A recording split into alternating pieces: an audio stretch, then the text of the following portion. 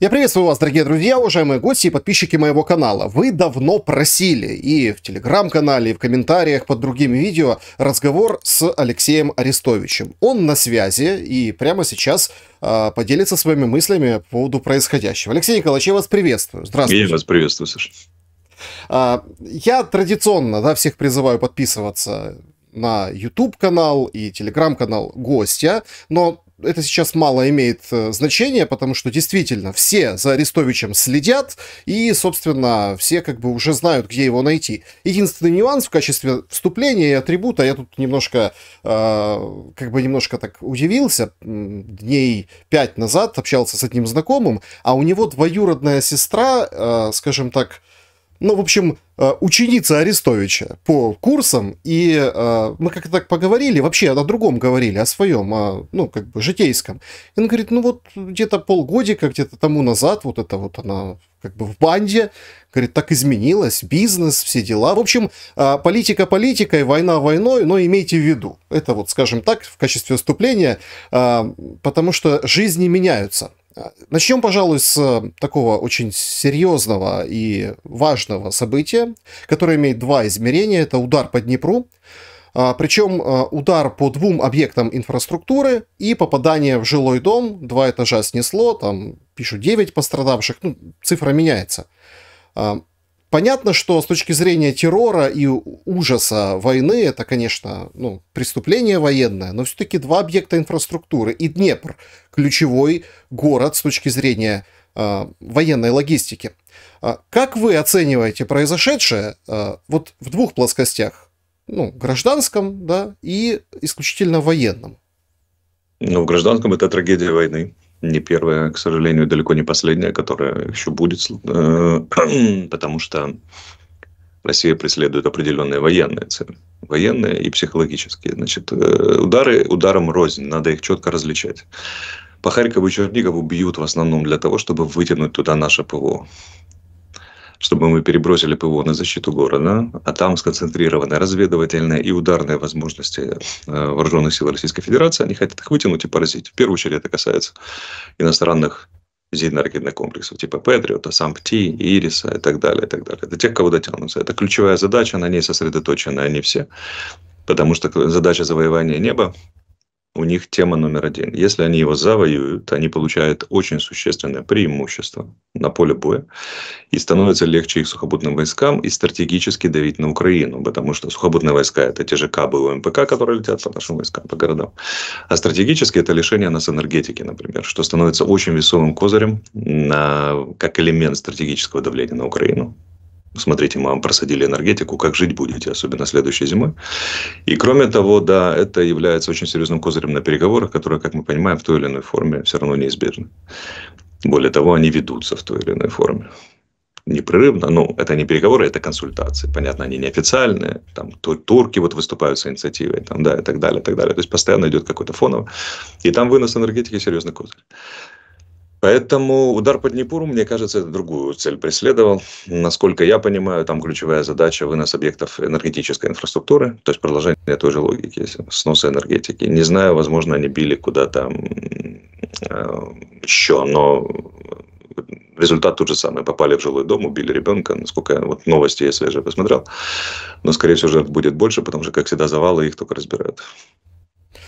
Э, Все-таки ЖД вокзал логистическое плечо, и Днепр принципиально важен. И с точки зрения переброски вооружений туда, на восточный а, фронт. Насколько, как вам кажется, а, вот события непосредственно на линии фронта последних дней с прогрызанием обороны ВСУ, с вот этими тяжелыми боями возле Часового Яра, там, направление а, скажем так, а, ну вот в этом направлении, там, Авдеевка, а, насколько сейчас имеют достаточно э, ну, серьезное основание для опасения. Западная пресса ну, просто разрывается, говорит, что, скажем так, ВСУ может посыпаться. Смотрите, западная пресса говорит то, что я говорил в октябре прошлого года еще начал. Я поставил эту тему специально для западной прессы, в том числе, многочисленных интервью и так далее. Есть. И вот они дозрели наконец-то. Нам это дозревание очень выгодно, потому что чем более напуган Запад, тем больше шансов, что дадут нам помощь. Вот завтра мы посмотрим по голосованию в Конгрессе ну, как бы не, не, никто не знает, что будет, но сам факт, что наконец-то преодолена проблема объединенных законопроектов Израиль и, Укра... и Украина, голосование – это существенный прогресс, прогресс, потому что отказать Украине – это прямо отказать Украине, а не отказать пакету Украина-Израиль, который там можно обвинить в коррупционности, в излишности, там, что там только предъявляют. Это прямая позиция по отношению к помощи к Украине, да или нет. И вот здесь мы видим, даже спикер Джонсон изменил свою позицию потому что и со словами, что ну, если мы сейчас не поможем Украине, ей конец.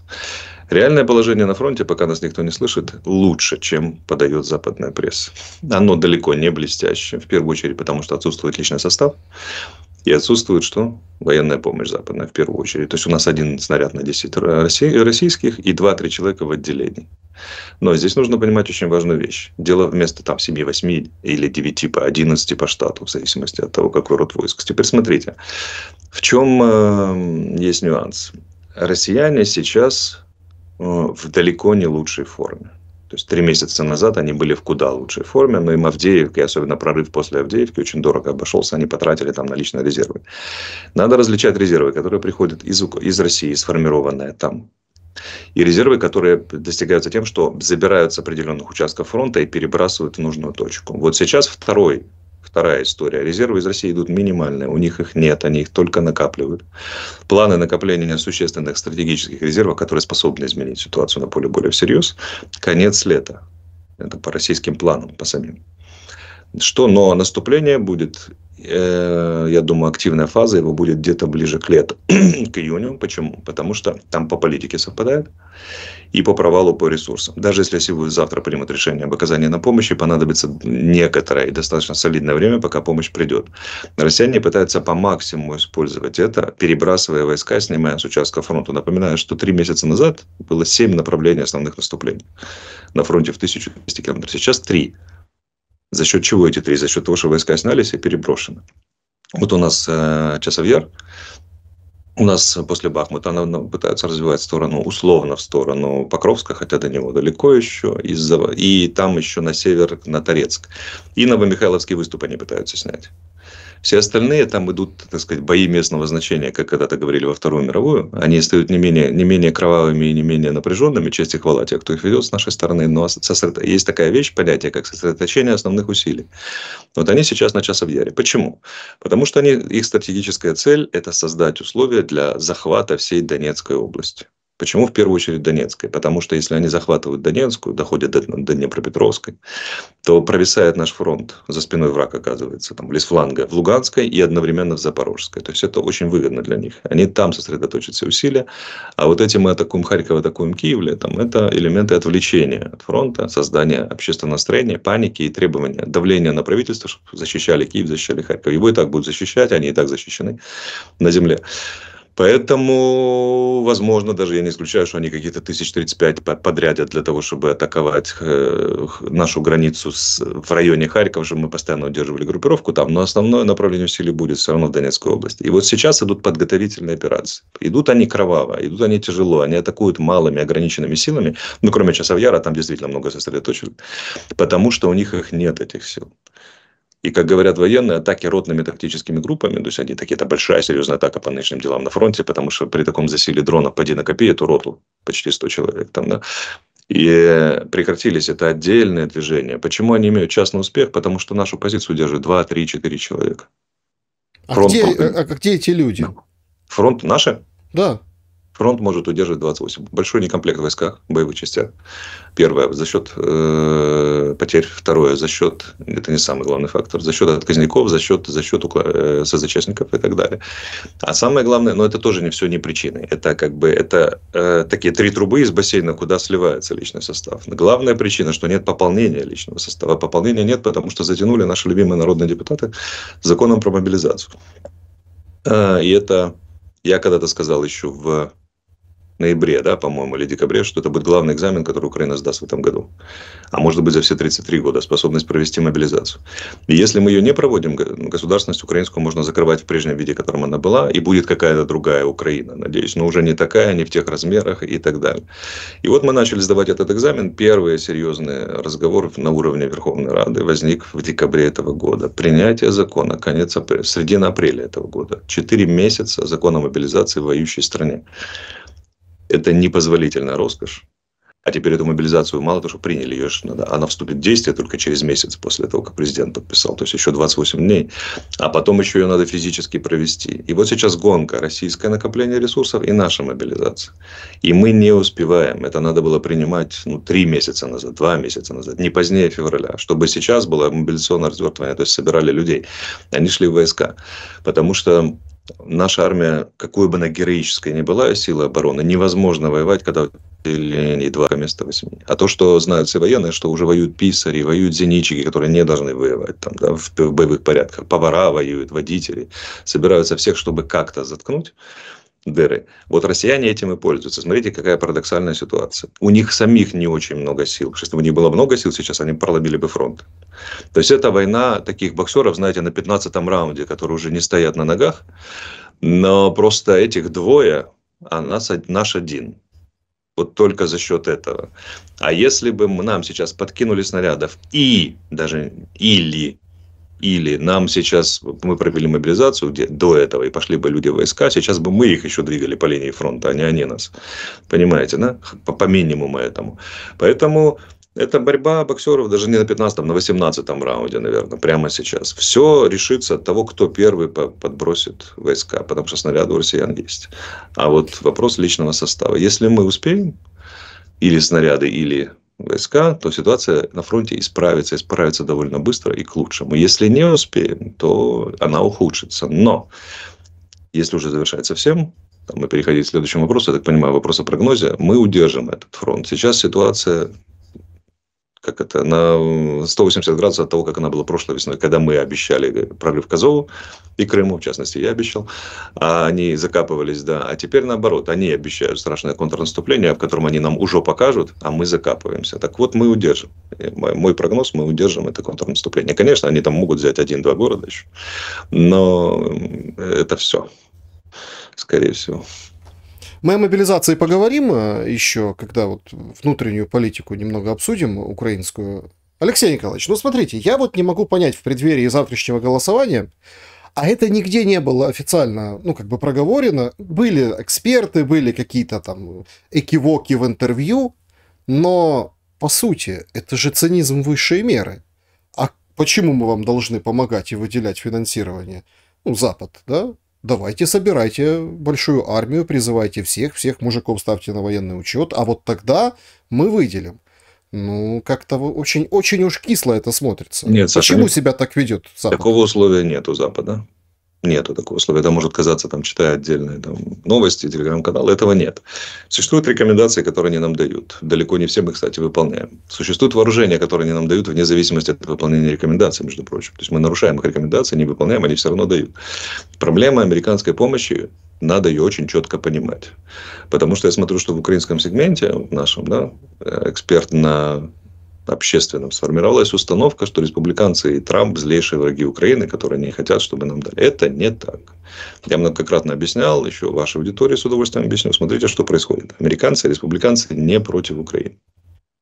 Даже конгрессмен, который сейчас вводит, вводит огромное количество спамит поправками ненормальными, это не против Украины. Это она так борется с демократами, которые с точки зрения республиканцев, особенно трампистов, неэффективно расходуют ресурсы, а кроме того, они их расходуют так, чтобы усиливались глобалистские структуры, НГОшки, там, НАТО, все виды глобалистских структур и влияние демократов по всему миру.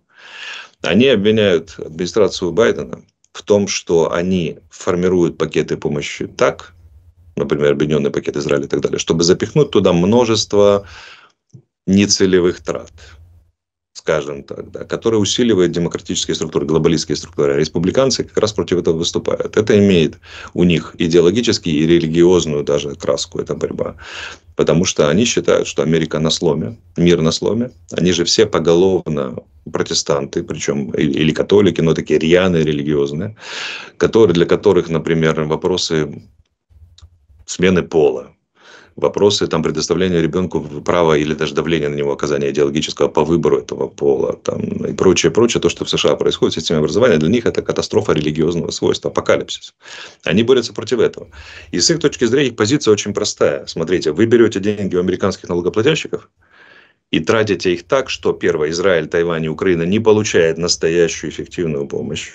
Они много раз оспаривали эффективность помощи. Когда Байден выступает и гордится, говорит, что 75% денег выделенных остается в США, республиканцы говорят, так в этом же и проблема. А почему они не в, Укра... не в Украину едут, они в Израиль, не в Тайвань? Что это за помощь такая? А во-вторых, как бы они говорят, что там очень много упаковано того, что, например, горькой памятью в сердце каждого американца. В Америке инфраструктура изношена, рушатся мосты и всякое такое. А сколько вы тратили на Афганистан 20 лет подряд? 2 миллиарда долларов в день? И каковы результаты?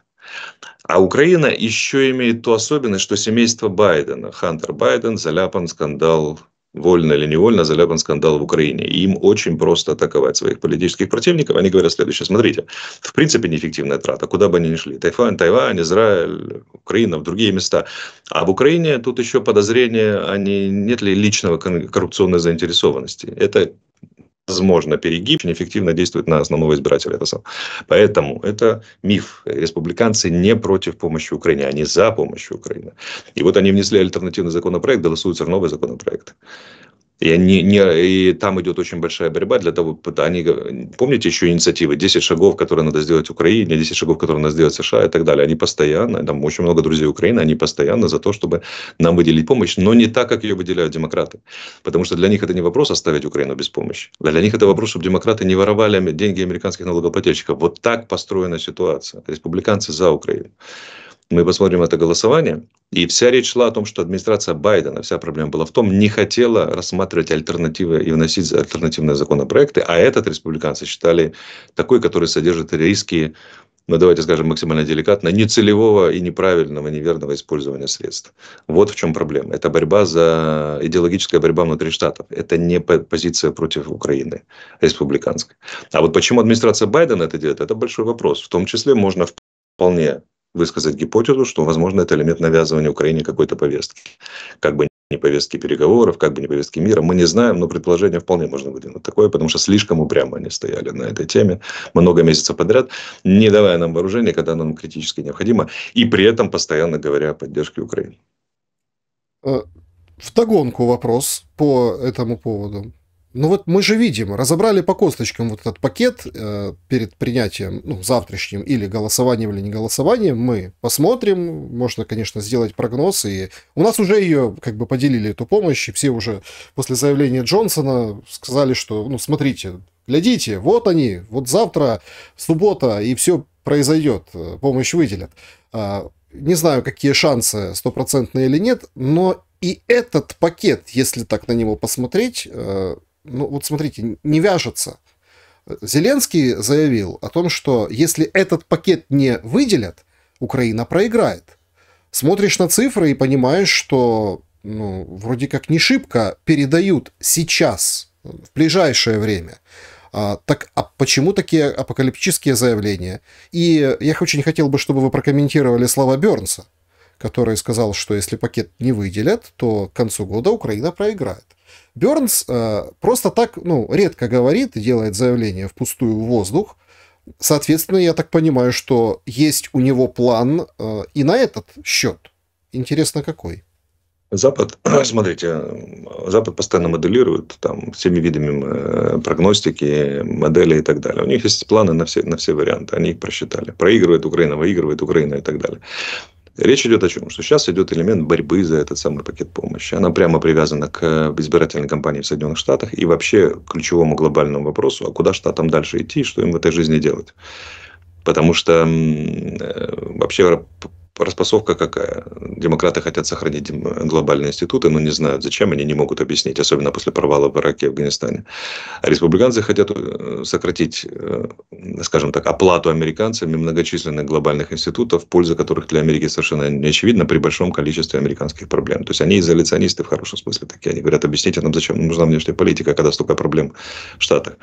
И украинский пакет помощи, ситуация в Украине – это элемент взаимного давления, рычаг, который они друг на друга используют. Не главный, но, но один из трех, трех главных. Так вот, э, заявление Бернса, заявление нашего президента – это элемент политического давления. То есть, это создание общественного мнения, которое, вынуждено, которое давит, соответственно, на политиков, заставляет их принимать решения. То есть, стандартная процедура. Мы создаем общественное мнение, общественное мнение с помощью определенных механизмов становится политическим. Или не становится, но, по крайней мере, мы попытались. Поэтому здесь э, ну, я далек от этого апокалипсиса, то есть спокойно опускаться на землю. Почему? Потому что Европа огромными темпами раскручивает сейчас военную промышленность, в частности Франция. Даже европейская помощь позволит нам удерживать линию фронта и ситуацию, медленно сдвигаясь назад, но далеко от апокалипсиса, от апокалиптических прогнозов. То есть месседж какой? Да, месседж какой, что мы можем устоять с, с некоторыми провалами даже на европейской помощи, скорее всего. Но американская радикально изменит ситуацию к лучшему. То есть у нас выживет там, пару десятков солдат, тысяч солдат в результате этого. Как бы, да, у нас останется целая инфраструктура, мы уничтожим больше вооружения военной техники противника, там, да, уцелеют гражданские и так далее. Поэтому, конечно, она имеет критическое значение, особенно в сфере ПВО например. Там, да, ну и опять же, там за какую сферу не возьмись, она особенно, особенно, особенно, особенно. Поэтому тут вопрос какой, что вот если аналогию с боксерами продолжать, россияне поставят пусть измотанного, но третьего боксера, а этот пакет помощи поставят второго, и у нас будет два против трех, или без нее один против трех. Даже в случае один против трех мы будем пятиться, но стоять. Я не, не вижу рухнувшей Украины в этом смысле, да. Но, как мы понимаем, два против трех куда более приятнее, чем один против трех. Вот примерно такая, такая, такая ситуация с американской помощью. Алексей Николаевич, удары по атомным электростанциям в Украине, о которых президент, э, выступая перед европейцами, ну, как на них делал акцент, э, плюс очередные новости, что очередной беспилотник куда-то залетел в Запорожскую атомную электростанцию. Э, это логичное продолжение вот этой воздушной войны? Россияне не будут бить по атомным станциям. Они будут бить по системам распределения. Что такое энергетика? Это генерация и распределение. У нас в Украине ситуация какова? Что у нас был избыток электроэнергии. За счет того, что очень много атомных станций, рассчитанных на когда-то бывшую промышленность Советского Союза, которой в помине нет. И у нас избыток. Еще по войне производство сократилось, то есть у нас всегда был избыток. Но есть такая штука, как маневр когда есть пиковое потребление энергии атомное, то это делали, компенсировали гидро и тепло, в основном теплоэлектростанции.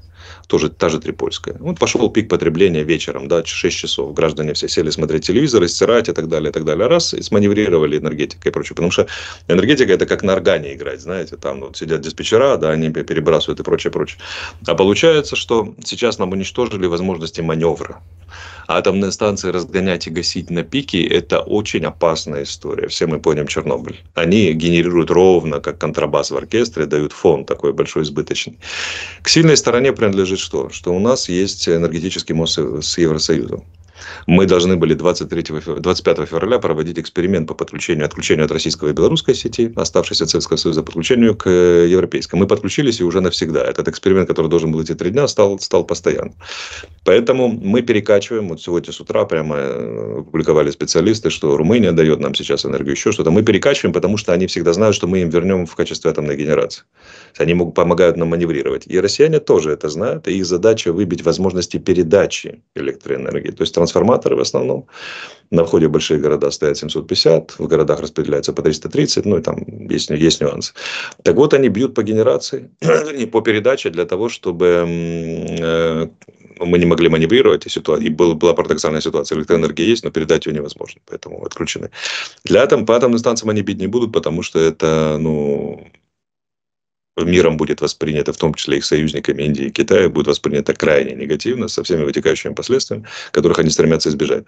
А вот по, например, выходу энергии из атомных станций, да, они могут попытаться бить. А, но это, как это, в каком-то смысле нам выгодно в кавычках. То есть это тут парадоксальная ситуация, как часто бывает на войне, и выгодно, и невыгодно. Невыгодно, потому что остаемся без электроэнергии, а выгодно, потому что мы сможем объяснить миру, что вот товарищи начали бить по атомным станциям. Посмотрите внимательно, что они делают, они же не меняшки. Первое, нам, дайте нам чем защититься, второе, окоротите их. Поэтому мы посмотрим. Эта стратегия, это, вернее, тактика для россиян содержит ловушек чуть ли не больше, чем выгод. Бить по там, распределению электро с атомных станций. Посмотрим, что они будут делать. Прилеты, да, но надо сказать, что прилет по центральному блоку, он рассчитан на что? Что туда их конструируют так, что если падает фронтовой бомбардировщик с полной бомбовой загрузкой, полный топлива, то и то станции ничего не будет. Она слишком надежно ну, блоку и так далее. А вот генерация, э, распределение, да, это уязвимая вещь и будем смотреть, что они будут делать. Это, это в каком-то смысле логическим продолжением является их кампании по оставлению нас без электроэнергии. С другой стороны, содержит слишком много ловушек для России. Да? Том, в первую очередь имиджевых. Бьют, бьют по атомной станции в центре Европы. Ну, как бы... Угу. Насчет ПВО. Прям загадочное падение Ту-22 э, в Ставропольском крае. В чем загадка? В том, что от линии фронта, там можно брать карту, циркуль, мы понимаем, что если, ну, уже заявили, что официально это С-200, ВСУ, собственно, сбили впервые, вот это произошло, такой борт э, был подбит, ну, там 300, 350 километров. Ну, 500. Он упал в 500 километрах от линии фронта. Это далековато даже для С-200. Значит, возможно, варианты какие? Первое. Сбили его ближе к линии фронта, но он дотянул и свалился уже по, попизже, как говорится. Да? Второй вариант. Сбили чем-то другим. Это могла быть диверсия, еще варианты. Но сказали, что С-200 как элемент информационного прикрытия, применения реального какого-нибудь нового вооружения, либо диверсионной акции. Третий. Падая, упал сам по каким-то причинам ну, бывает техническим, да, все-таки авиация сложное дело, да еще если ракеты пускал. Ну, а мы это маскируем в качестве элемента давления информационного на противника, да, и так далее, и так далее. Это, э, в современном мире скрыть что-либо очень сложно, это рано или поздно выяснится. Пока ГУР записал нам это в, в наше достижение и то, что это было сбито с 200. Но могу сказать следующее. Любое падение техники в результате или уничтожение техники в результате ведения боевых действий – это боевая потеря боевая потеря. Как то же самое, если солдата убило электротоком при попытке примонтировать лампу на фронте, он погиб на войне, а не просто как рабочий где-то в тылу, понимаете. Да, это потеря, которая случилась на войне. Поэтому боевая потеря не досчиталась у нас, э, как это, не досчиталась у нас рота бойца. То же самое у них. Поэтому это их боевая потеря и наша заслуга в любом варианте, даже если это техническая неисправность, благодаря которой упал сам, потому что он упал, применяя вооружение по Украине в этот момент. Вот и все. Поэтому можно, как я говорю, смерти даже врагов радоваться не рекомендуется, а вот боевым успехам наших войск можно радоваться, можно и нужно. Поэтому порадуемся боевому успеху наших войск. Да, давайте порадуемся. Но возникает э, тогда логичный вопрос. Если вот такие успехи ПВО, э, то как бы зачем вам ПВО давать, да, если на такое расстояние а, вы имеете в применять. Да, да, это такая ловушка очень специфическая, да, но здесь момент какой, что у нас очень часто отдельные департаменты заявляют то, что противоречит общей информационной политике, потому что, по секрету вам скажу, пока нас никто не слышит, общей информационной политики в государстве нет. Тем более не, не, про, не просчитываются такие вещи, как соответствие заявлений э, наших отдельных спикеров, родов, видов, войск, департаментов и так далее, и так далее, общая информационная политика – это далеко не первое противоречие, которое случается. Действительно, вопрос очень правильный. Если вы за 500 километров вашим ПВО валите стратегические бомбардировщики, что, чего же вам еще? Но даже на это есть ответ. Ответ есть такой, что территория Украины – это территория государства больше, чем Франция, крупнейшая в Европе. Для ее прикрытия нужно очень много ПВО. Поэтому наличие даже двух каких-то очень успешных комплексов, которые где-то там за 300 километров кого-то сбили, что абсолютно нереально, ну, допустим, сбили ближе к линии фронта, а потом он упал, это не исчерпывает. С таким успехом можно сказать, мы вам дали один ПЗРК, вы сбили Су-25 российский, ну так что же вам еще?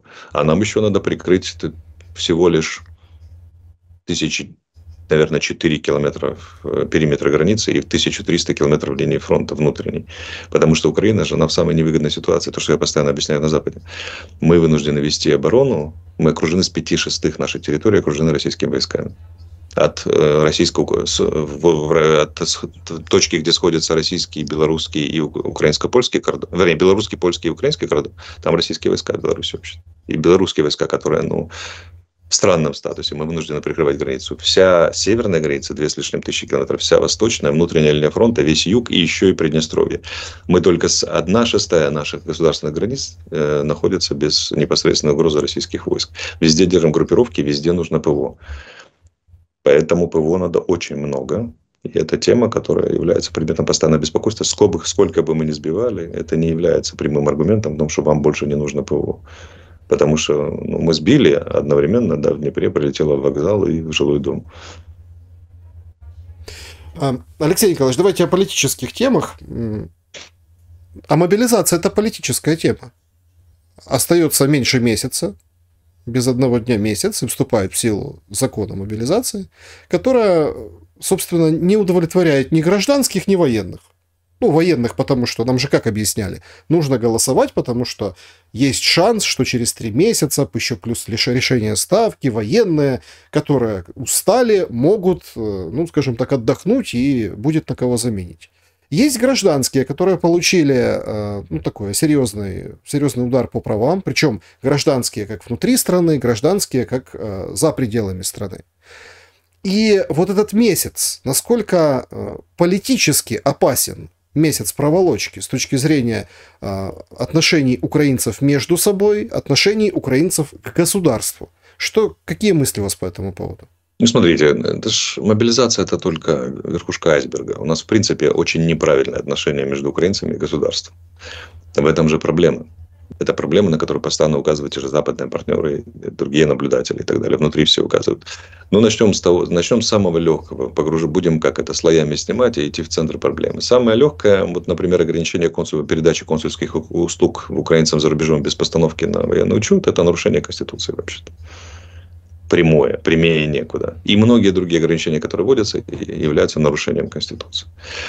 Теперь вопрос сразу коммуникации народные депутаты, офис там, и так далее, они же не говорят, что, друзья мои, родина, отечество в опасности, поэтому мы ограничиваем ваши права, что, между прочим, предусмотрено Конституцией. Она позволяет ограничивать права украинцев в случае военного положения. Вопрос, позволяет ли она ограничивать саму Конституцию, это вопрос к Конституционному суду который что у нас не действует, к сожалению, да, и находится в состоянии, когда... То есть, у нас парализована одна из ветвей власти, Конституционный суд, который должен давать оценки вот таким вещам. Но дело даже не в этом, это формальности хотя они крайне важны, что в конце концов к этим формальностям сводится вообще вся политическая модель государства Украины и ее перспективы. Народ же чувствует на самом деле прекрасно, что делает власть. А власть перебрасывает ответственность как раскаленную сковородку. Почему 4 месяца принимали закон? Потому что депутаты буквально, формально рассматривали все, опись, протокол, все эти спам поправок, которыми забомбили закон про мобилизацию. Потому что и боялись. Сейчас вообще общее настроение у чиновничества либо не принимать решений никаких крайних, либо что? Либо принимать коллективно, размывая ответственность. А вообще ситуация требует прямо другого. Она требует наполеоновских или римских административных решений, в смысле Древнего Рима. Людей, которые выходят, говорят, я решил, это моя ответственность, ребята, и будет вот так, и хорошо это коммуницируют, потому что вопрос идет о выживании страны. Ну вот вам типичный пример, который вы обозначили, нам, вернее, не вам, а нам всем.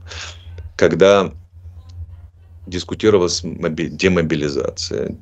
Я вот прямо говорю, демобилизация означает смерть Украины забрать кадровых военных, или уже не кадровых, а те, которые там 800 дней воюют и стали в этом смысле в отношении, когда были профессиональными, сейчас фронта, распустить их, означает только одно. И на, заменить их на новичков, которых только взяли на мобилизацию, означает только одно. Гарантированный провал линии фронта, даже если будет 100 американских снарядов на один российский, гарантированно валится линия фронта, провал, потому что новички не удержат. И эти старички, старички, будут воевать через месяц в своих собственных домах в Днепре, в Полтаве, в Киеве там, и так далее, в Николаеве и прочее, прочее. В Запорожье только уже дезорганизованная масса и в виде партизанского этого где-то ища там деда, дедовский обрез. Как бы, да, и это означает коллапс и смерть Украине. Скажите, вот, э, отпуск длиной в 1-2 месяца стоит такого? все равно же проиграете, все равно будете воевать, только в куда худших условиях, не как организованная армия и так далее. Поэтому при всей печальности власть должна была бы сказать, не будет никакой демобилизации. Это неизведано, неизвестно вообще в истории войн невозможное действие, которое это сам. Но все политики начали заигрывать. Юлия Тимошенко, ее фракция спамили поправками про демобилизацию и делали такую. Мы должны освободить наших воинов, которые... Петр Порошенко, президент, который возглавлял воюющую страну и знает более-менее, как это работает, все равно вышел на трибуну и сказал, мы не прекратим нашу борьбу за демобилизацию, прекрасно понимая, что это чистый, голый популизм и очень опасно. Потому что демобилизация означает смерть Украины. Эти политики призывают к смерти Украины, отложенной, к смерти тех, кого они хотят демобилизировать, которые будут по домам отлавливать российские войска потом, если, когда фронт провалится. Для, для того, чтобы что? Получить частные баллы, да еще в ситуации, когда очень далеко до выборов, понимаете, или чтобы снять с себя ответственность. Мы, мол, боролись, что они будут говорить на выборах? Мы боролись за мобилизацию демобилизацию. Но вас же вот эти сволочи удержали, там, да, правящая коалиция и так далее, и так далее, безответственная политика. Это сразу закладывается как козырь на будущие выборы, абсолютно безответственная политика. Вот. Я вот призываю наших читателей, зрителей, вернее, сейчас запомнить, кто, кто поднимает тему демобилизации и как ее поднимает. Потому что это закладка на там, будущие выборы, когда бы они не состоялись осенью, 25-м, 26-м и так далее. Они будут говорить, ребята, военнослужащие, они же заигрывают с электоратом, с этим, членами их семей особенно. А это огромное количество людей, это несколько миллионов. Мы, мы за вас были, вот, ну вот не дали, там офис проклятый Ермак, Арестович, все они не дали вас демобилизовать. Хотя они прекрасно понимают, что демобилизация прямо равно смерть Украины. А теперь внимание, как власть это коммуницирует. Кто-то вышел и сказал, что, ребята, демобилизация – это смерть Украины. И объяснил, почему. Нет. Нет, не вышел. Так вот, теперь вопрос, как бы, да, кто, кто хуже, да, или кто непрофессиональный. И это в ситуации, когда страна, ну, вообще мы на библейском разломе своей истории находимся, неизвестно, что будет с Украиной дальше и так далее, и так далее. Власть не вытягивает. Власть и оппозиция одинаково ну, не одинаково, по-разному, но аморально себя ведут и, и одинаково не умеют качественно коммуницировать. И вот в этом, в этом опасность. А теперь граждане смотрят на это все и понимают, что ну, кого, кого хочет видеть человек, когда горящий автобус летит в пропасть или грозит упасть в пропасть. Он хочет увидеть водителя, который знает, что делает. Понимаете? Пусть на одном колесе, но как-то вот пытается, пусть с минимальными шансами и так далее, и так далее. А когда водитель ведет себя по принципу «спасайтесь то как может, но проголосуйте за меня», помните, что я за вас боролся, люди понимают очень важную вещь, что им плевать на людей, и оппозиции, и власти, по большому счету. Их волнуют от людей только рейтинги не судьбы реальных людей, а рейтинги. И это очень хорошо читается. Поэтому сейчас политический класс Украины стремительно себя дискредитирует. И на вопросе он дискредитировал себя на войне. Как бы, да, плюс он очень конкретно дискредитирует себя на законе про мобилизацию и несостоявшуюся демобилизацию. Потому что поступает аморально и еще плохо это коммуницирует. И Народ это прекрасно чувствует. Народ это прекрасно понимает. Они могут, не, могут, не могут сформулировать, но отношения не спрячешь. Оно же ощущается очень сильно. Подрывается доверие к власти причем власти, оппозиция напрасно считает, что она не власть. Она тоже власть. Любой э, депутат Народной Украины вообще государственный деятель у нас по Конституции и так далее. Поэтому они тоже власть, просто власть, находящаяся в оппозиции, но власть так и делится на власть, правящую коалицию и оппозицию. И все они несут в равной степени ответственность за происходящее. В равной. И реально, меня больше всего беспокоит, что реальная проблематика не ставится, не заявляется, не обсуждается а рейтинговые вопросы, выделяются рейтинговые вопросы, и идет борьба за рейтинги момент выживания страны. Они и затянули этот закон, который должен был принят не позднее февраля для Украины, для фронта, для тех, кто там сейчас сражается. Да, не позднее февраля, они затянули аж до апреля, а действие вступит в май. В этом проблема. И На практике. Без, да, без, без глобального изменения отношения властей к людям, вот когда мы развернем политику на человекоцентричную, доверие будет к власти таять все больше и больше. Одинаково и к оппозиции, и к действующей власти. А это тоже проблема. Потому что мы попадаем в двойную ловушку, в двойную петлю. Война, да еще затягивающаяся война, требует принятия все более ответственных решений все более непопулярных решений. По сути, э, нынешние власти, у них стоят перед дилеммой принести себя в жертву, в том числе свой рейтинг, и потерять шанс быть переизбранными, это касается и власти, и оппозиции, но спасти Украину или попытаться спасти рейтинг и погубить и себя, и Украину. Вот, вот какая дилемма. От них требуется высший подвиг. Не, не подвиг человека, который с автоматом бежит на окоп, как бы, да, а подвиг такого вот гражданского и политического, даже исторического мужества. А они на это не могут пойти, они слишком мелковаты для этого, у них не тот уровень сознания. И народ прекрасно понимает, что в момент, когда требуются исторические решения, непопулярные решения, которые спустят рейтинг в унитаз, но зато спасут страну, как бы, да, они не способны на такие решения. Но как бы дети на, на, дети на экскурсии в лесу, когда увидели, что учитель растерялся и думает о своем имидже, а не о спасении детей, что начинают думать про учителя и что там начинает происходить в этом маленьком коллективе. Помните тайских школьников, которые были зажаты в, в пещере, которые спасали это несколько лет назад? Они там где-то в подводной пещере, их там, там еле-еле водолазы, один погиб и так далее, и так далее. Целая операция по спасению была. Так вот, представьте, там что выяснилось, что учителя медитировали, успокаивали детей, проводили занятия как-то и так далее. А представьте, что учителя начали бы метаться по пещере и думать о том, что напишут родители по поводу этого самого, а не озаботились конкретно о, о том, что дети будут есть, что пить, о их психологическом состоянии. Вот это ровно то, что сейчас происходит в Украине. Поэтому это парад безответственности он приведет, я думаю, к серьезному политическому кризису где-то уже к, к осени, к концу осени у нас.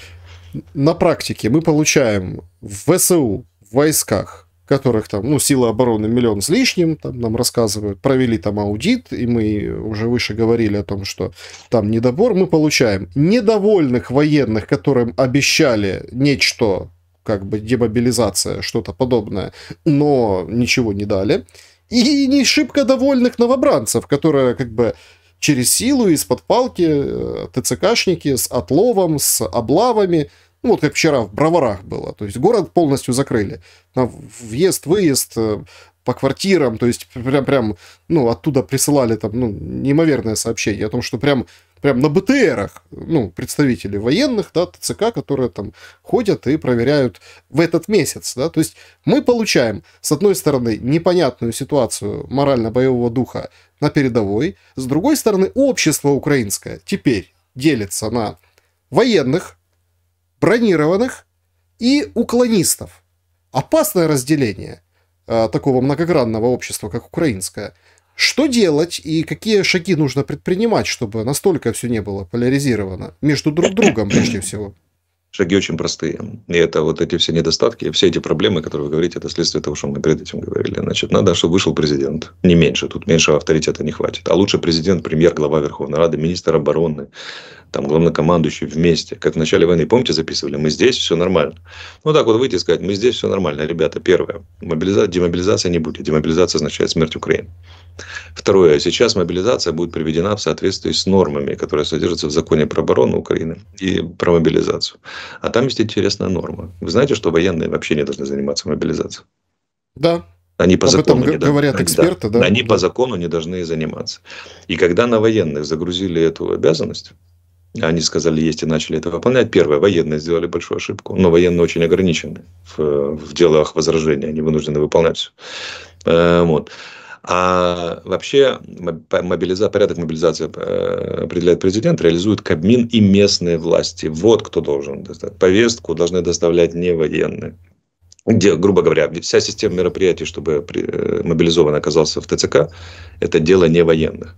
Военное начинается с момента, когда он перешагнул порог ТЦК, вот тогда они должны его правильно призвать, правильно обучить, правильно применить потом, потом правильно обществу вернуть по демобилизации. Все, что они требуют. А призыв это это самое. Что мы сделали?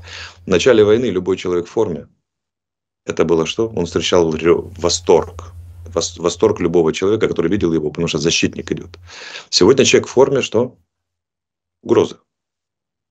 Заодно это всех этих государственных деятелей надо подвесить, там у них внизу болтаются ноги такие, да, вот как бы навсегда, потому что это исторически неверное действие, преступное действие. Когда страна борется за свое выживание, сделать так, чтобы граждане начали бояться людей в форме, в чатах писать, мы видели военных там, там, там, не ходите туда, это преступление. А почему оно произошло? Почему не занимается МВД? Почему не занимается Кабмин? Почему не занимаются местные власти? По одной простой причине. Потому что никто не хочет нести за это ответственность. Все боятся непопулярности. И скинули на военных. А военным делать нечего. Война, они, ну, есть, сказали, да, и так далее. Пошли. Они не могут оспаривать приказы. Хотя, честно говоря, я бы оспорил, будучи главнокомандующим. Я бы сказал, все, что хотите, мое дело фронт, но мы не занимаемся призывом. Вот с этого дня, с нуля часов. Опа, что будете делать, товарищи вас придержащие? Но для этого нужно иметь другого качества главнокомандующего. У нас таких, к сожалению, нет. Так вот, фишка в чем? Потому что это преступно. Преступно. Это дискредитация армии в прямом смысле. А военные, они делают, как они умеют. Им сказали, надо с броваров снять сейчас 300 человек. Ну, они окружили бровары и начали снимать 300 человек свойственными методами, понимаете, да? Вот, спасибо, что двери не выбивают и не расстреливают окна из пулеметов, потому что военные, ну, они по-другому не умеют. У них вся психология, вся система ценностей и все, все технологии заточены только под это. Понимаете, да? Есть полицейская тактика захватывать дом, там, да, когда они аккуратно крадутся, чтобы заложники не пострадали. Есть военные. Военные подгоняют танк и складывают дом. Без, без лишних этих самых сантиметров. Так вот, когда военным поручают мобилизацию, это не потому, что военные плохие. Потому что э, танк, он может только ехать и давить, понимаете, и стрелять. Он ничего другого не умеет. Вот им поручите урожай убирать, будет то же самое. Поручите им, не знаю, что транспорт регулировать, будет то же самое. Они выгонят БТРы на, на улице и начнут стрелять поверх тех, кто нарушает правила, а потом в тех, кто нарушает правила. Потому что они по-другому не умеют. Напрасно просить ждать от, э, я не знаю, мясорубки, чтобы она что, делала нежный торт безе. А вот мобилизация, да еще в таких условиях, это крайне деликатное дело, на которое должны быть направлены совокупные силы всего государства, от информационно-мотивационных, заканчивая до там, правильной работы этих самых. Но местные же власти не хотят брать на себя ответственность. Представляете, что будет с, эм, там, я не знаю, эм, директорами всех этих территориальных единиц, которые начнут повестки разносить. Им же конец. Они же понимают, что не проголосуют. А значит, все, прости, прощай, должность, деньги и все остальное. Ну, хай военные отдуваются. Вот здесь корень ошибки. И корень ошибки это потому, что чиновники всех уровней отказались от ответственности перебросили ее на военных, между прочим, прямо нарушив законы, ключевые законы Украины про оборону, про мобилизацию. И вот там корень. И сколько ее не прописывает этот закон, как его не лакирую, и там, да, и прочее, прочее, пока это не будет устранено, мы будем подрывать доверие общества к военным в воюющей стране, воюющей за существование стране. Большего и вязчего идиотизма и преступления представить себе невозможно. Но мы мало того, что ничего допустили, мы не исправляем и только усугубляем. Это ключевая наша проблема. Особенно на фоне России, которая с разными способами от промывочной пропаганды до, до выплаты денег обеспечивают 30-40 тысяч добровольцев, приходящих каждый, каждый месяц в военкомат. Вот и все. Алексей Николаевич, уклонисты – это ИПСО Кремля? Вот сейчас этот хэштеги, которые ходят там, да, и так далее. Ну, ГУР говорит, что ИПСО Кремля ему виднее. Хотя с каких пор ГУР начал заниматься противодействием ИПСО, не, не знаю. Это вообще не, не, не прямое их дело, но если занимаются, ну, спасибо им за это. Как бы, да. Смотрите, уклонисты, они бывают очень разные. Это тоже очень сложная проблема. Я могу вам назвать сказать следующее. Это тоже очень непопулярная тема. Есть целая прослойка высоких военных профессионалов, или, по крайней мере, и или очень мотивированных людей, которые не идут в армию. Уклоняются. Вы думаете, они трусы? Поверьте мне, вот эти точно не трусы. Это люди, у которых по две, а то и по три войны за спиной, всяких разных. Либо просто высокомотивированные люди, которые не боятся, готовы воевать и создали либо костяк и украшение любого, любой бригады, которая на этом не идут. А в том числе воевавшие на этой войне, а теперь ушедшие в СЗЧ. И когда с ними беседуешь, они говорят следующее. Мы этим идиотам подчиняться не будем. Не будем. Найдите форму, в которой мы можем сами собой командовать и сами что? Сами, сами применять. Потому что, ну, вот это дуболомство, которое там сплошь и рядом происходит, как бы, да, у нас же что же есть командиры мясники, там, да, идите, задачи 200 бесконечно дающиеся, не, не, как это, и тогда идите, там никого нет, да, мы вас обязательно поддержим и прочее, прочее. Бесконечные штурмы никому не нужных позиций, то, что называется восстановление линии фронта и прочее, прочее. Поэтому армия резко увеличилась профессионализм катастрофически упал, особенно в звене командир взвода, командир роты, потому что там кадровых военных нет. В армии, если есть кадровый командир взвода, лейтенант, то полфронта сбегается посмотреть на это чудо, и комбаты ходят вокруг, смотрят на этого лейтенанта, говорят, ого, вернее, камбрия, да, какое, какое, да. Это, это примерно как тунгусский метеорит, такое, такое же редкое и запоминающееся явление. Поэтому Проблема в том, что э, люди, которые профессиональные и мотивированные, они говорят, посмотрев на это все, они скажут, ну, слушайте, сдохнуть в очередной 112 атаке на одну и ту же лесопосадку, которая ничего не дает в тактическом отношении. И когда нас не выслушивают, мы говорим, давайте здесь огневой мешочек сделаем, заманим противника, давайте вот тут обеспечим операцию, подготовим, как положено, проведем как профессионал. Им говорят, не, шу, шу, вперед. Их немного, но на их, как понятное дело, что у нас не шляются где-то 20-10 тысяч суперпрофессионалов, хотя они есть, они есть и тысячами, эти люди, либо профессионалы, либо мотивированные, но часть из них была в армии, ушла в СЗЧ, этой проблеме легко объяснять, что происходит в целом. Три вещи у нас неправильно. Неправильно собирают людей, неправильно готовят и неправильно применяют. Не везде неправильно, но в большей части. Поэтому очень большое количество мотивированных людей не хочет идти туда и носит клеймо уклонистов по той простой причине, что а попав туда, они воевали очень хорошо. Потому что они не хотят в такой системе себя отдавать в полную власть. Ведь смотрите, чего очень многие не понимают. Что когда ты идешь в армию вообще, а в армию в воюющей стране, ты отдаешь право на свою жизнь и смерть причем очень скорую смерть вполне возможно, постороннему человеку, который может быть в 10 раз тебя глупее, в 10 раз тебя примитивнее, в 10 раз тебя подлее, но он твой командир. Понимаете, да? И вот эта проблематика, потому что очень многие не хотят подписываться на таких условиях. Их мало, но на их, на их примере очень легко объяснять, что происходит. Вот недавно был опрос на улице, когда сказали, что 20% украинских мужчин рассматривают, что возможность присоединиться к ВСУ в том или ином варианте добровольно, бесплатно. А еще какое-то количество процентов по повестке. Если придет, то пойду. Мы же еще забываем про кого? Про людей, которым повестки приходят каждый месяц, и они добровольно идут. Их не надо отлавливать и в бусики пихать. Вот их туда отправляют. И, в принципе, 20 по сравнению с опросами, которые были на Западе, сколько немцев там готовы воевать за Германию и так далее, это огромная цифра. На одних этих 20 мы могли выехать. Э, вот. Но возникает вопрос. Вот он приходит и говорит, вы знаете, я хочу служить там в воинской бригаде, у меня там друзья и родственники. Что с ним сделает армия? Он будет служить где угодно, кроме этой энской бригады. Вот я вам гарантирую 101%. Я при, э, рассказывал пример, когда доктор наук э, и, и уникальнейший специалист мирового, с мировым именем по очистке воды, специалист Борис Выхованец, он пошел первым, мой, мой хороший товарищ, он пошел первым э, добровольцем в ТРО в 24 февраля, в тот же И вот когда была проблема с водой на юге после подрыва Каховской дамбы, да, и так далее, и она там сейчас есть, Николаевская проблема и так далее, его Академия наук и профильный институт попросили Кабмин его на два месяца прикомандировать. Не уволить из армии, а прикомандировать, чтобы обеспечил, создал систему очистки воды и добычи чистой воды. А он профессионал именно по югу, ну, среди прочего, у него наработки, конкретика, то есть за ним, это не теоретически, это за ним стоит огромный этот сам. И его э, потом вернуть обратно в этот ТРО, пусть бегает рядовым бойцом, хотя это сама идея, сама по себе сомнительная, иметь уникального специалиста по воде и заставлять его бегать с автоматом где-то там в ТРО. Он не уклонист, он не прятался, ничего. Я обратился, он обратился ко мне, потому что Кабмин, там, оказывается, 26 или 28 документов надо подписать, чтобы его откомендировать. Я обратился к, к Залужному и Резникову, главкому и министру обороны. Это люди, у которых сверхвласти, сверхполномочия в стране. Попросил, мы с ними на «ты», чтобы вы понимали. Мы с ним давние, с, не, с собой, с одним и вторым давние друзья. Я говорю, Валера, Леша, надо, человек, это же вопрос сотен тысяч людей, сидящих без воды, там, да, и так далее. Да, если не миллионов, сколько там их на юге, прочее. Не уволить, он не косит, он не пытается уклониться от линии фронта. От команд... Два месяца на этот и вернется. Чувак воюет с 24, год уже воюет с 24 февраля во всех, во всех самых страшных боях побывал и так далее. И что вы думаете? Даже они не смогли пробить, потому что завязло все это в бюрократии. Это сам, совместно главком и министр обороны не смогли пробить, все завязло в бюрократии, там э, подписи документов, да еще период был такой острый. А потом уже не надо было. Он сказал, махнул рукой, Боря сказал, он сейчас воюет, только вчера переписывают до сих пор.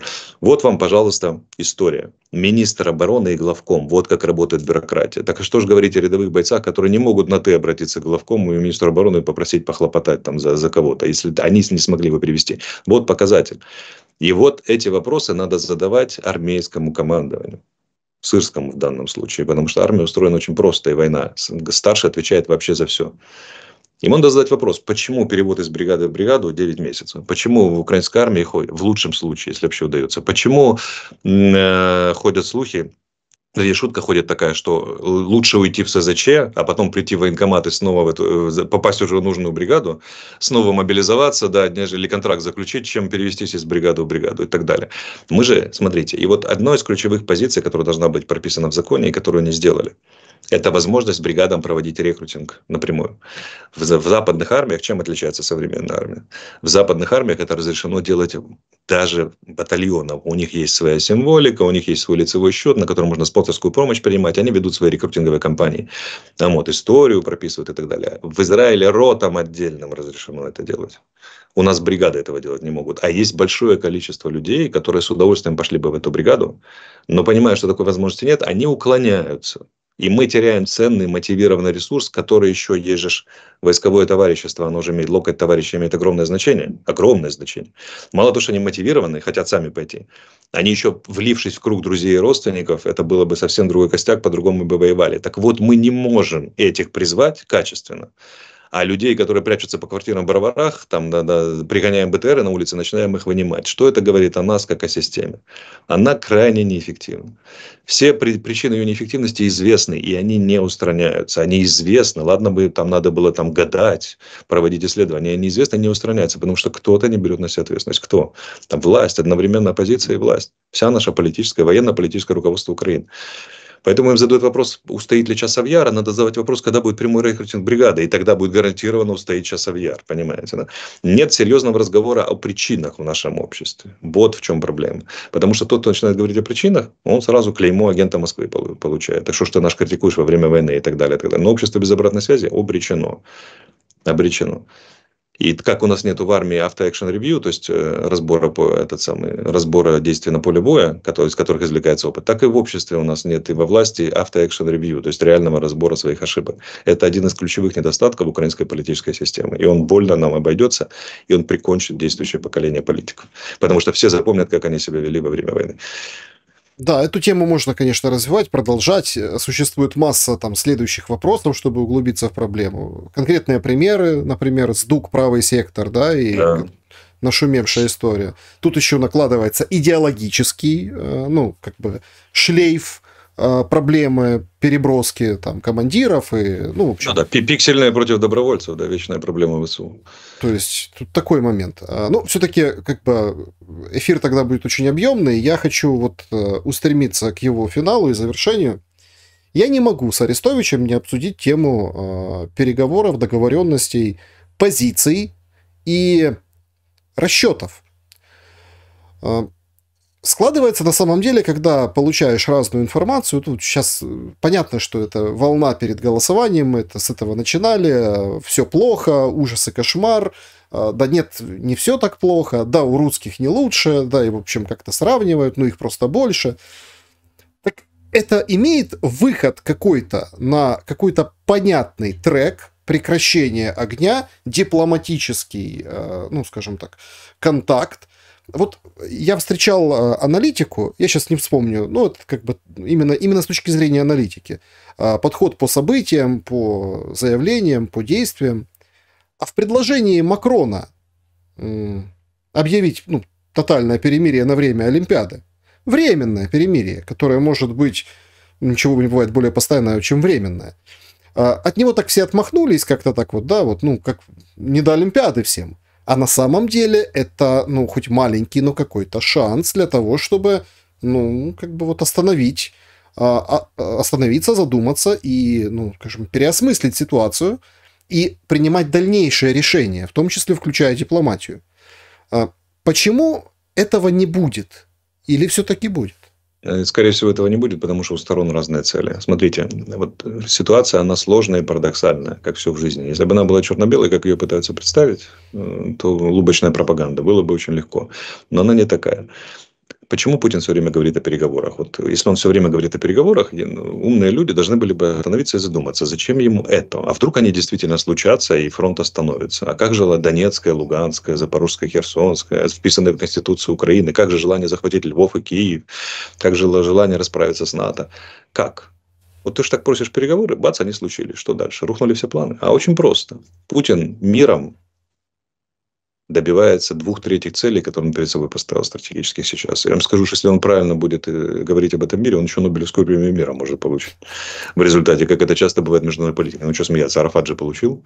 Террорист, который захватывал самолеты, уничтожал заложников, женщин, детей и так далее, и так далее. Пожалуйста. Так вот, здесь очень простая история. Главное, что нужно Путину сейчас это их санкции и вообще вся эта история с войной неправедной очень сильно просадили на международной арене. И им надо бы поставить перед ними ряд задач, в частности, внутренней модернизации. Для него мир выгоден, потому что, первый, на Западе найдется огромное количество людей, которые скажут, ну, посмотрите, перемирие, давайте санкции снимать. Они же добровольно пошли. То есть, он получает крутейший козырь снятия санкций, а значит, доступ к технологиям. А значит возможность подготовиться ко второму раунду, например, войны с Украиной где-нибудь в 30-32 году. То есть им это выгодно сейчас.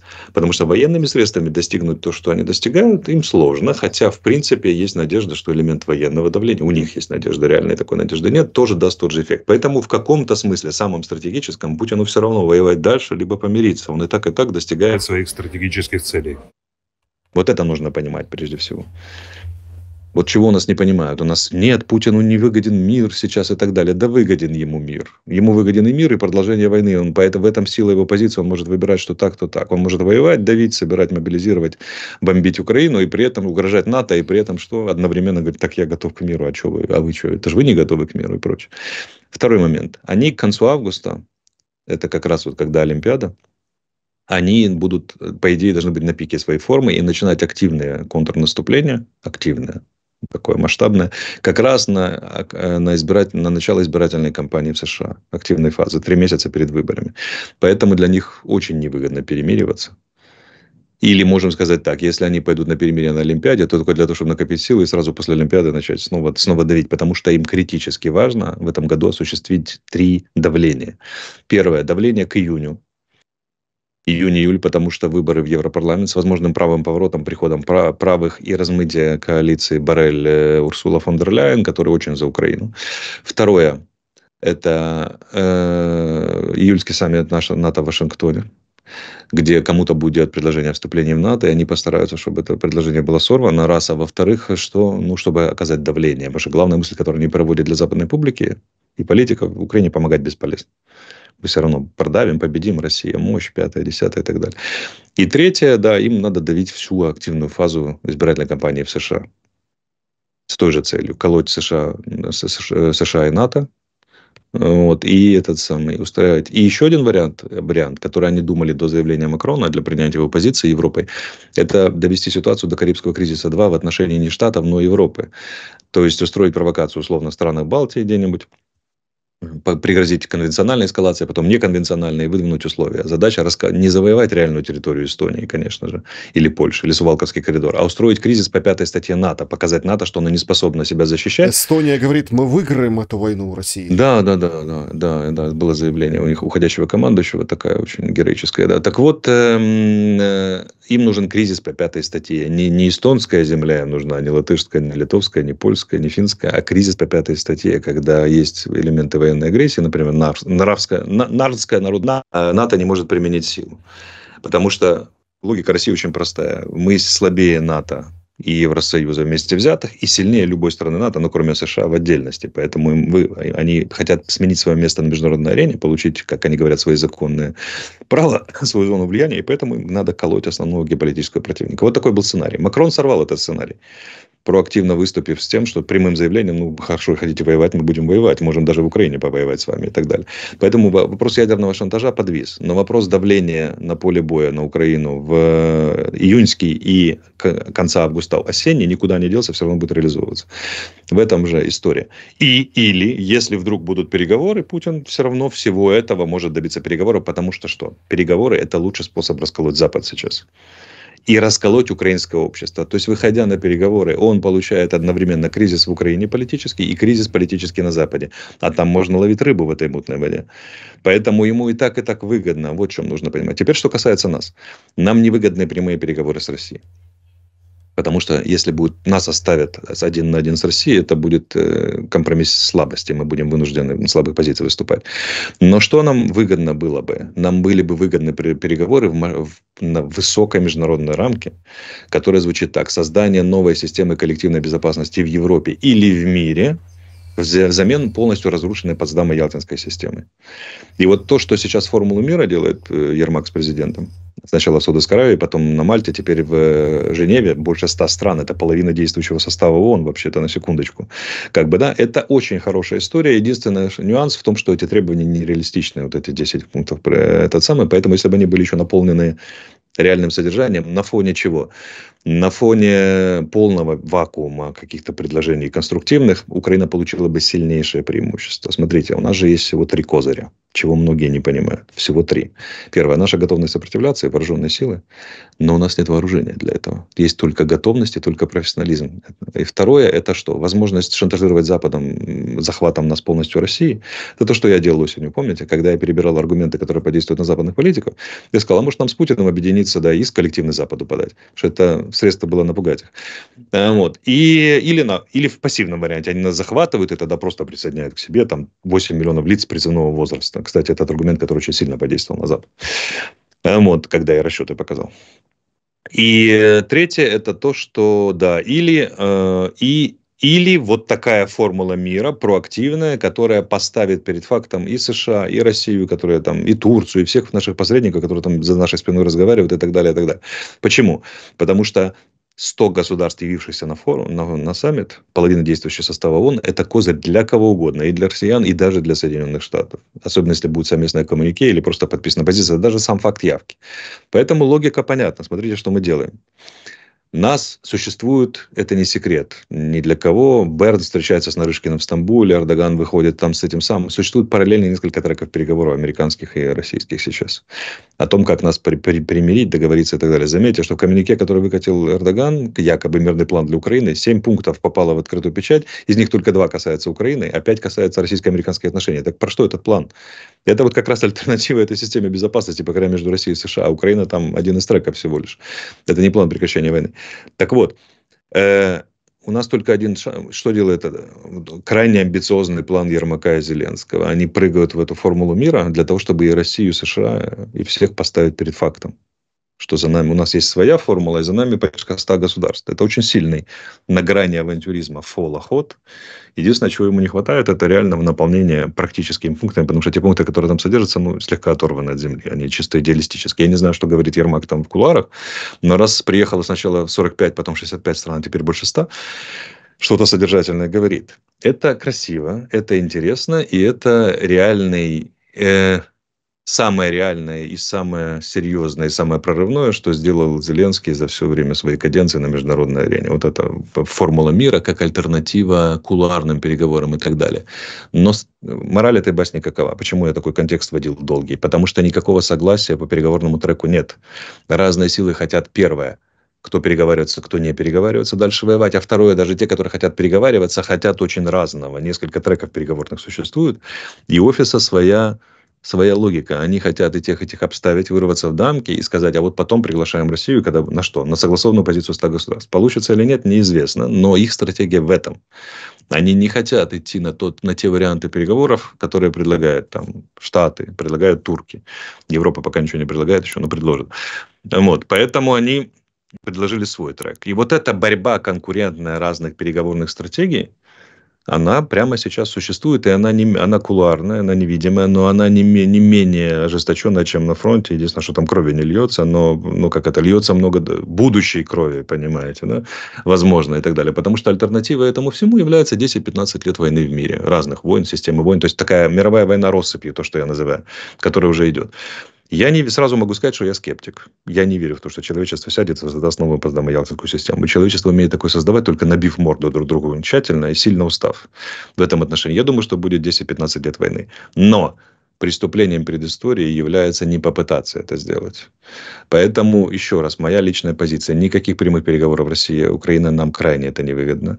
Нужны коллективные переговоры о создании систем безопасности. Эти переговоры уже ведутся.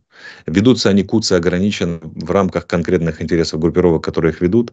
Альтернативой, вернее, стратегией офиса в этом случае является, а значит, это стратегия Украины, предложение формулы мира как лучшей формулы будущей да, безопасности в Европе или в мире – она тоже несовершенна.